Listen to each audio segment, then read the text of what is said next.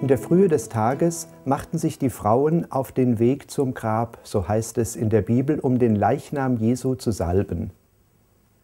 Die Frauen haben sich viel zugemutet.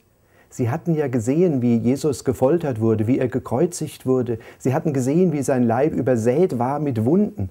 Und diesen Leib wollten sie nun berühren und salben. Wie waren sie bereit, sich hinabzubegeben ins Menschlichste Jesu, aber auch sich erneut den Unmenschlichkeiten auszusetzen, die sich an Jesus ausgetobt hatten. Wo sie so bereit waren, sich ins Menschliche zu begeben, da begegnen sie dem Göttlichen in der Gestalt des Engels. Gottes Leben war im Grab, hatte den Leichnam Jesu erweckt zu neuem Leben, hatte Tod, Schuld, Unmenschlichkeit mit Gottes Liebe und Barmherzigkeit erfüllt. Mitten in der Menschlichkeit begegnet den Frauen das Göttliche. Sie erfahren Ehrfurcht. Und der Engel sagt zu ihnen, fürchtet euch nicht. Gottes Liebe, Gottes Barmherzigkeit ist im Menschlichen näher, als wir denken.